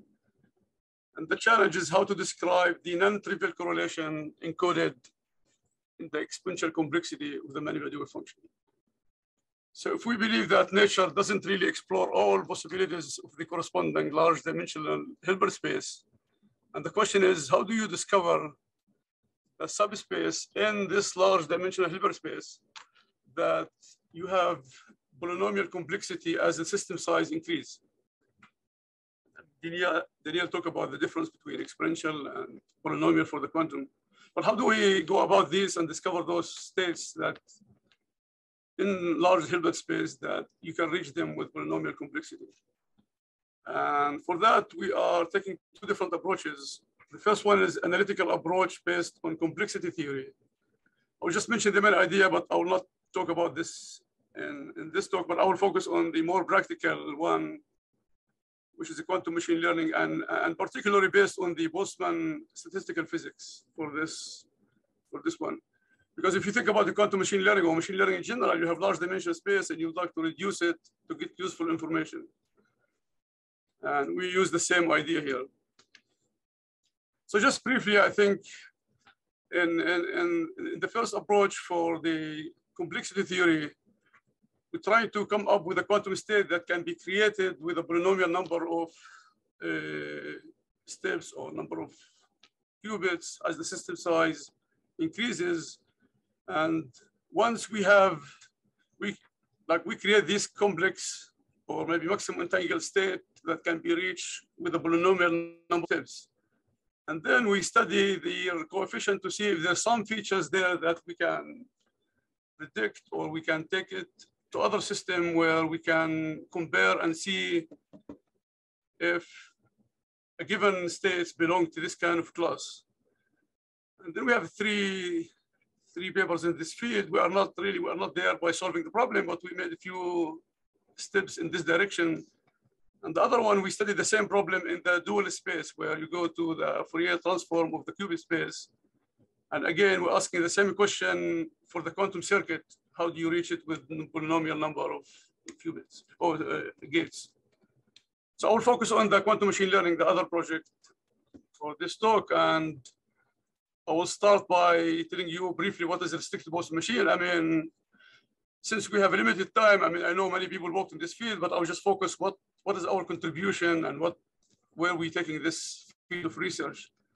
And then I will show practical or proof of concept that this restricted Boltzmann machine, you can de design a quantum circuit, run it for small molecular systems like H2, lithium hydride, water, and so on. But more exciting was to get the band structure, valence band, and conduction band for two-dimensional materials. And then toward the end, if there is time, I will mention how we use this one, the restricted Boltzmann machine to look at phase transition on a quantum computer. So I'm sure, I mean, Alán is pioneering the, the work in the field of electronic structure for this system. And just quick summary, maybe we have to update it now. We're talking about theoretical and experimental results for a small system from two to 12 qubits. We have both the theory and the experimental results for all of this. And I missed the first part of the talk by Alán, but I'm sure he talked about the next I want to do next. And we have the direction of taking quantum classical hybrid algorithms. And uh, Daniel talk about the D-wave and adiabatic quantum algorithms. And here I will talk about quantum machine learning. And before that, also we just mentioned for discussion if there's interest, we're trying also to see if we can generalize the, the phase estimation algorithm from the qubit to qudit space. And the idea is to run it because there's advancement in the in the groups that doing photonic quantum computing. And here we collaborating with the group of Andrew Weiner at Purdue here. And we show the proof of concept that you can use three frequencies. So the dimension was three here. And we took a simple matrix three by three and we can run the phase estimation algorithm in higher dimensional space. And for those who are interested, we put together a, a, review article, and this appears in Frontier Physics in collaboration with Barry Sanders, like summarizing what people have done in the qudit space, all the algorithms, and the different applications.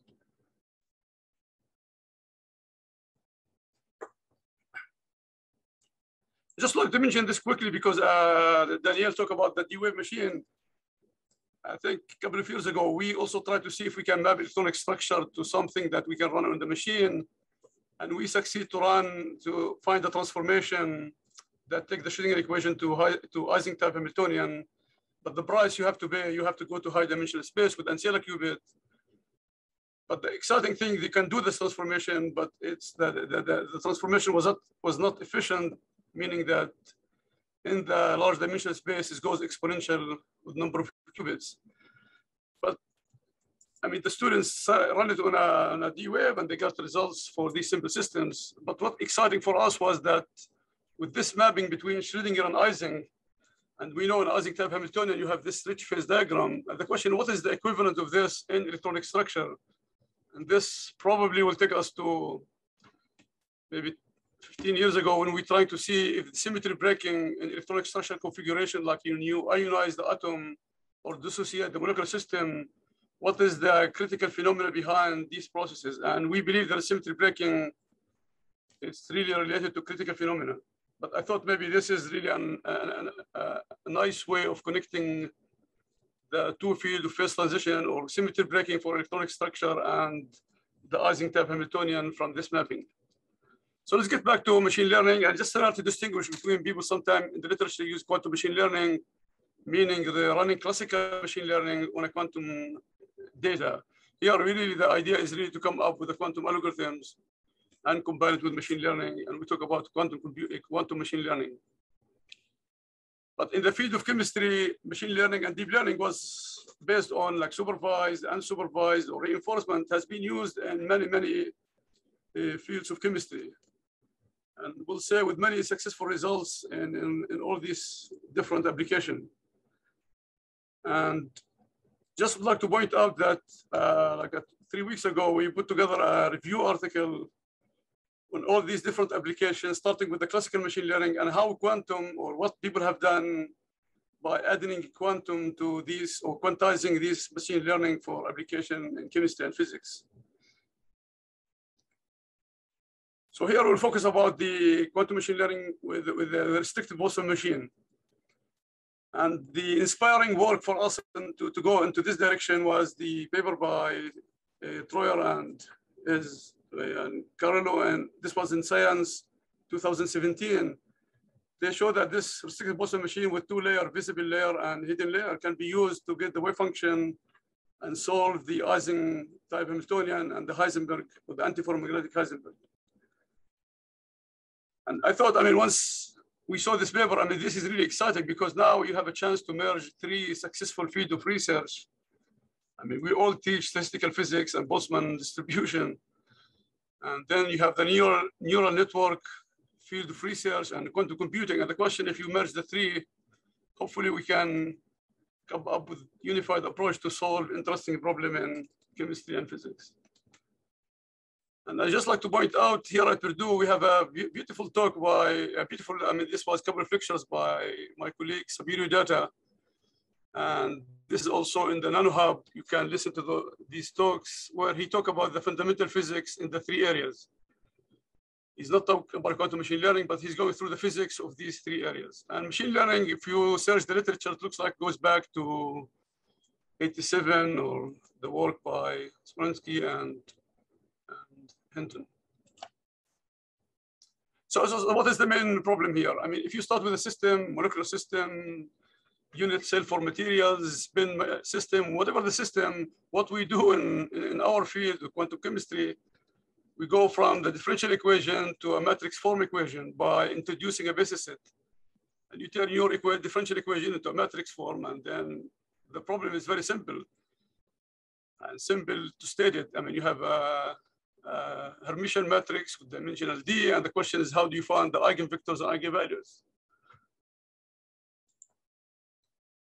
And the rest of my talk is based on three our three papers that we recently published, just in case if I missed, to give you the main idea. And we have supplementary material to go to the to the to the I mean the math, the math behind this approach. So in the first one, we show how quantum Boltzmann machine can be used for electronic structure simple molecular system. And then we extended to the valence band of two-dimensional materials like graphene and hexagonal nit nitride. And then later we were able to go, it's not only from the ground, also excited states, a go band structure from valence band to the conduction band.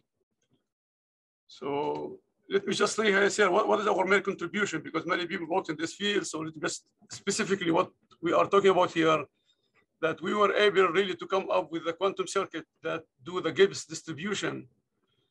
And we show that this quantum circuit, the, the, the scaling is really quad quadratic in the resources. And here we talk about quadratic, in, meaning in the, in the, in the circuit width, depth, and the number of parameters to be optimized in, in, in this search. And we apply it to two-dimensional materials and we, in this case, we run it on the IBM quantum computer, both in the simulator and the real machine. And since the system, the Hamiltonian size is small, we were able really to get exact results compared with the exact diagonalization. So I will summarize, I mean, my contribution is really come up with a quantum circuit that do this sampling, and it was quadratic, where classically it's exponential with the number of configurations. So what is the restricted Boltzmann machine? You have two, as mentioned, two layers. This is the visible layer. And these nodes takes values one or minus one, and then we'll go for map it to qubit space. So if it's one in, in, in one qubit state one and minus one in zero. And we have biases or local fields, a vector of n dimension as the number of nodes, and here the hidden one with the biases with the vector with the M component, and these are the hidden layer, and they are connected by this matrix, the connectivity matrix, with the two indices running over the hidden and the visible. So we can come up with a quantum circuit that do this sampling and get the Boltzmann distribution. And from this, we can get the amplitude of the wave function by just taking the square root. But to get the phase of the wave function, and this is extremely important when you go to boundary condition, we added one more node, we call it the phase node, And this is a complex, you have the real and imaginary part. And you can see here this complex. I mean, here they have the nonlinear activation function, which is uh, with this complex argument allow you to calculate the phase. So now the total wave function at the end that we're trying to simulate is the amplitude and the phase, and you sum over all the configuration in the visible in the visible layer. So just briefly, the algorithm, you start with the random variable for the parameters here. The parameters local field on both hidden and, and the visible, the connectivity matrix, and in the phase node. And where is the quantum part comes in, the quantum part comes in from the sampling, the Gibbs distribution. And then once you have the cost function, which is for us here, is the expectation value of the Hamiltonian, the rest will be optimization using classical algorithm. So you can think about it as a hybrid quantum classical algorithm to do electronic structure calculations. I mean, I already mentioned the, the, the mapping to qubit. So let's get to the, the quantum circuit, how the quantum circuit works. You start, just for an example, suppose this is the visible layer with, you initiate the, all the qubit in the zero state. And here the visible with two, the hidden with two, and then we need ancilla qubit. And you'll see in a minute why I need ancilla qubit. So the first step, you have to put all the visible and the hidden qubit in a, in a superposition. And the way we do it, we take rotation with this angle theta. And the angle theta depends on the parameter. And these parameters are the local fields for the visible and the hidden. And here I just wrote explicitly the matrix for this rotation. So again, you rotate, and the way you rotate these Hamiltonian, I mean, these, uh, the, the qubit depends on the parameter and, and the quantum circuit. So you put all in the superposition, and then you would like to introduce the connectivity matrix, omega ij between layers, the, the, the visible and the hidden. And for that, we need three qubit gates to have control, control rotation, and you see control control to mix between the hidden and the visible and the rotational, the angle in this rotation omega ij depends on i and j. And for that one, we also connect, I have it here, okay. We connect also this angle theta in the control control rotation with the, the number from the connectivity matrix. Also here's the control control. I mean, you see the explicitly, and then the theta one and theta two, it depends if it's zero, zero, one, one, or zero, one, one, zero. We have four states. So this is the sampling with the, with the, with the quantum circuit that we have. And this is what we implemented on the IBM machine. So let me so the other point you have really we you have to worry about is the successful uh, successful sampling. How many times you have to, to do the sampling, and this is where the main issue. But what we have shown in this case analytically that there is a lower bound for this uh, distribution if you Uh, introduce the parameter k into the distribution, and you think and you think about it as a as an effective temperature. But we show this k here, the kappa, that we introduce to the sampling, and then at the end we take this distribution to the power kappa, it has a lower, lower, lower bound. Now, when it comes to the number of qubits and the number of gates, so in this example, we have two in the, in the visible, two in the, in the, hidden, and four in the ancilla qubit to connect the two layers. And again, since you have control control rotation, you have to break it down into, uh, as I mentioned here before, I mean, sorry the X gate. So this is, okay, so this is, so this is the breakdown for control control rotation in terms of bit flips X gate. So when the students run this calculation on the IBM, first the simulator, and I mean, here's the number of iteration, 30,000 in the simulator, and about 500 on the real machine. Just here, uh, briefly to mention that when we looked at the classical literature um, and Boltzmann machine. There was a proof back, I think this was in 2010. And you can see the restricted Boltzmann machine are hard to approximate, approximately evaluate or simulate. And they come up with this that this is an exponential and it's hard really to make it polynomial unless we can see the there as you break the, the hierarchical remains and collapsed. So anyway, this is that was from 2010 showing that this sampling is really classically a hard problem. And we show it's going like quadratic in the number of qubits.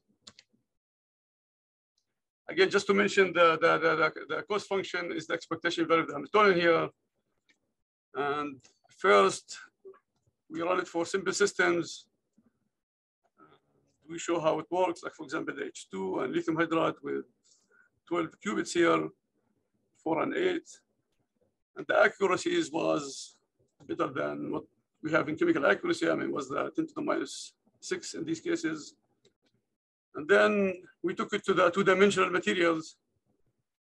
And here where we need the phase because you have to introduce the boundary conditions. So we, the students here, Srihari did it for graphene and hexagonal boron nitride using the tight binding Hamiltonian for this case. And here we start with the tight binding and then use Hubbard model. And here the unit cell is only two, two, two carbon atoms and the same here we have two. So it's a very simple system where the Hamiltonian is four by four with boundary condition. And when we run it in the, the, the, quantum simulator, and here's the ground state, which is the valence band here. And you see in the, this is the energy in the, in, in the momentum space. And here the green one are from the machine. And you can see this is with error mitigation, and you see there's no error here because what we have done, we did what we call the transfer learning method. So we did it at the, at the gamma point where we get convergence, and then we use the same results to generate the, the, the next nearer point. So instead of starting at random, well, when you start at random, you see the errors are all over the place. And we see the splitting of the, of the, of the band because you have spin up and spin down for graphene, both on the simulator and in, in the real machine.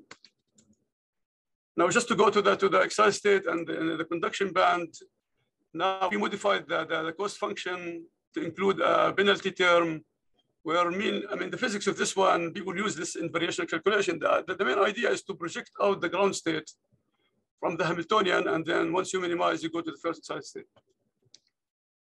And my postdoc here, Manas, run it for, for these two uh, dimensional materials, molybdenum disulfide and tungsten disulfide and I mean, we use the tight binding Hamiltonian to the third nearest neighbor. We took the Hamiltonian from the literature here. And we run this calculation, and you can see we compare the exact with the classical restricted Boltzmann machine on the cousin and on the real machine.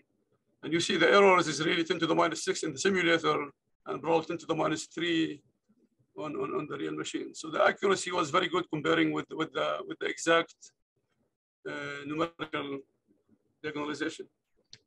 So we did it for both materials. And then the question is what, what next? I mean, let me take like a few just minutes just to show where we're going with this approach. And one direction is going really to uh, see if this approach can be used for quantum spin liquid. And for that, we are collaborating. We have a joint project with Professor Arnab Banerjee from the physics department. He's an experimentalist as looking the field of quantum spin liquid. I mean, just here to really maybe emphasize what we have done so far, I mean, it's not going to work for strongly correlated system. I mean, this is, this is very clear. And the question is what modification we have to do to this Boltzmann machine in order to go to really more strongly correlated system and here, when we talk about spin liquid, I mean, these are frustrated system where entanglement is essential to be described by the method.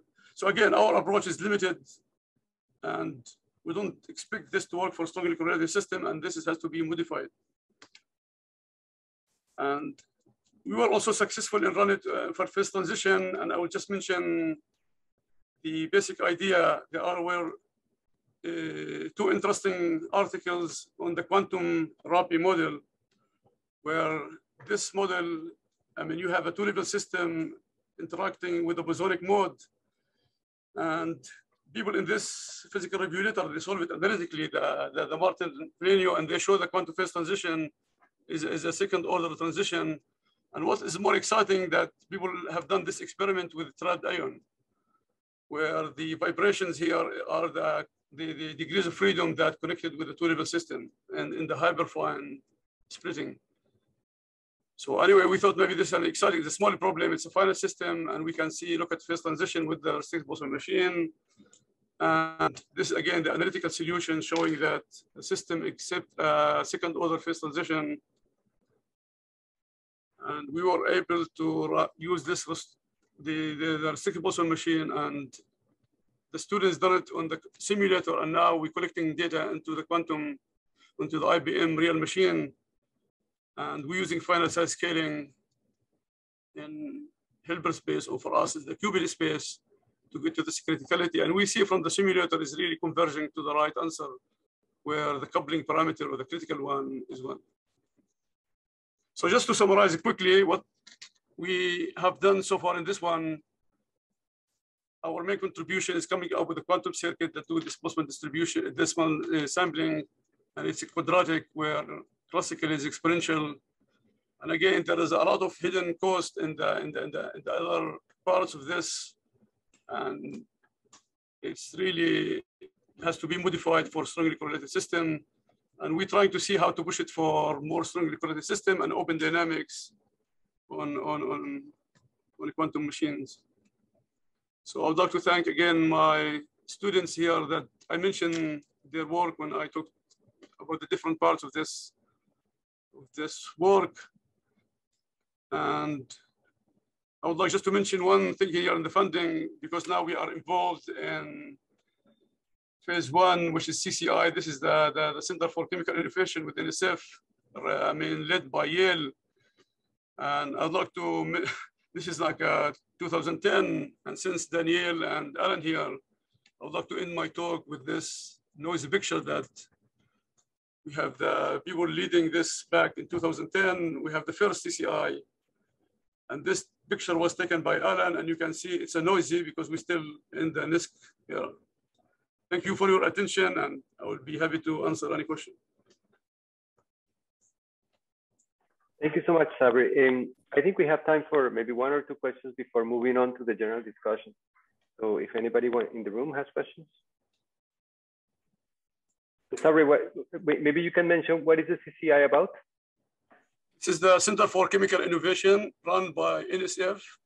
Yes, but uh, what, what is the topic? What is the topic of the proposal? For the, the second one, uh, for us was the chemical information for chemical system, and there maybe I'll make it here larger. I mean, the center is it's more uh, dynamics. It's a quantum dynamics and molecular quantum devices. So this is run. I mean, this is led by Yale Group.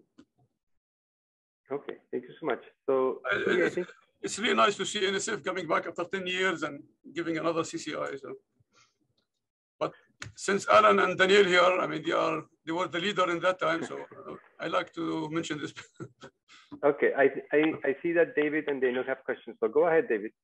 Yeah, just a quick, uh, quick one. You you mentioned uh, at a number of points uh, open quantum system dynamics, and yes. I was just wondering uh, uh, how are you formulating this? Is it is it formulated uh, variationally? Is it? Uh, no, no. It's just like the way we do it. Uh, we're trying to simulate the quantum master equation. So you have two terms. One is the, the, the unitary part, and the problem is the non-unitary part. So what we did, we took the, the Kraus map. So we run it as a, as, as a Kraus sum operator. So we went from Lindblad to Kraus. Uh-huh. And now we use the mathematical theorem to take non-unitary Kraus operator into unitary in higher dimensional space. So these Kraus operators can be turned into unitary in higher dimensional space. And uh, the, the, the, mathematical theorem is very simple. And once you have it a unitary, you said, okay, I will decompose it now into quantum gates and run it on a quantum computer. okay. And we show how it works for simple system like uh, amplitude damping. And then we did it for simulating the FMO complex with three sites. And now we're trying with the seven sites FMO complex that many people did calculations before and just quantum simulations. So the main idea is really to, to make the Kraus operator unitary in higher dimensional space. So there is a cost for that, but I mean, this is what we have so far. Thank you. Daniel, go ahead. Yeah, so I was uh, just wondering regarding the, the use of the restricted Boltzmann machines. Uh, uh, you know, those kind of fell out of favor in the classical machine learning community. Uh, I don't know about a decade ago. Um, are, are, you are you thinking of uh, upgrading to kind of a, a more uh, state of the art neural network type architecture? Yeah, we started with this one now. We're trying to see how to like like add more layers in this machine then add more coupling. And what really worrying me is at this point is how to include entanglement in this process. Because what we have, we have two local Hamiltonian, and it's not clear how I will include entanglement in this process. So we thought maybe adding one more layer with higher couplings is going to help us. But I'm not sure if it's a deep learning in this process will help us in, in introducing entanglement in this process. So I'm not, I'm not clear about this point. This is what we're trying to figure out. If deep learning, I mean, more go to deep neural network is going to help us in including entanglement in the process and go for strongly correlated system. So my understanding is most of the application really has not to do with strong correlated system because we fail in, in just using this simple Boltzmann machine. Okay. Brenda, go ahead. My question was similar to Daniel's. Um, so in, in strong, strongly correlated physics, right, there are neural networks like PauliNet and FermiNet. Um, and essentially what you're learning are things like Jastrow factors and, and, and constants. So if you can expand beyond the restricted Boltzmann machines, right, you can easily use those techniques for, for strongly correlated systems. Yeah, I think I agree, but I mean, I haven't seen, I mean, maybe there are work that I'm not familiar with, but I haven't seen success in really using these quantum machine learning for strongly correlated systems. Sure, sure. I, sorry, you, maybe, you know, I'm missing, maybe I'm missing work in this field, but oh no, no, no, I, I, I totally agree. Uh, so, so th those are all classical implementations. But if, if one were to go to the quantum regime for those, then then then you should, in principle, be able to do it.